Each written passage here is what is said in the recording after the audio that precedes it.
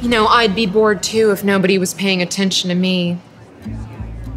Can I help you? It's okay, bud. She's off the phone now. You know, kids his age shouldn't be drinking coffee. It's too much caffeine. It's a hot chocolate. Well, that's too much sugar. He'll be bouncing off the walls in no time. I'm guessing you haven't been a nanny for very long. This is my son. Oh, I'm sure he is. It's really hard separating yourself from his mother at first. You're right. He's not my son. I found him out back in the parking lot. He's a weird kind of kid, aren't you, buddy? That's not funny. Time for a medicine, buddy. Okay, let's get out of here. This crazy lady thinks I'm gonna steal you on Craigslist. Who was that woman? Have you seen her here before? I'm sorry? You took her order, right? What's her name? Did she come in here with that little boy? Look, I don't know who this woman is or what she's doing, but I know for a fact she's not a nanny. She's about average height, African American, and before you ask, no, this is not a race thing. I don't know why everyone keeps asking me that, but this is not racist. I'm looking out for the safety of this boy. Look, I just know it's better to be safe than sorry. She's keeping him sedated. Can you please bring an officer over here? Thank you, God. Oh my god.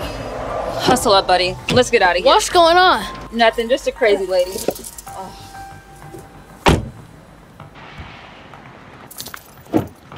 If you leave before the police get here, you'll be in serious trouble. Okay, I already got pictures of your license plate and I gave them your description. Do you hear me? Where is this boy's mother? I am this boy's mother, okay? So back off and go bother somebody else. Let go! No! I'll hold her off. Get out of the way!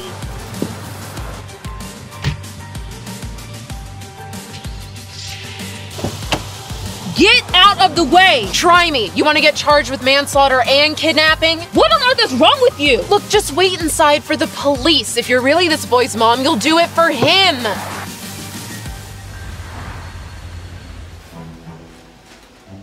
What is this about?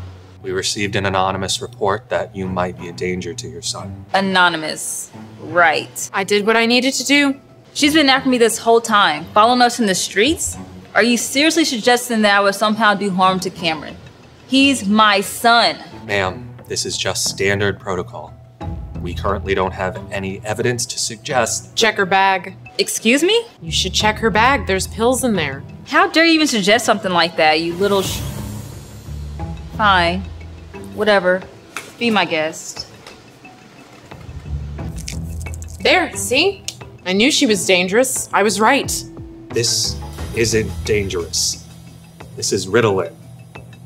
Yes, my son Cameron has ADHD and he takes them every couple of hours. That's why I have them on me. I don't want him to miss a dose. They really help a lot. There doesn't seem to be anything suspicious in this bag, ma'am. Thank you.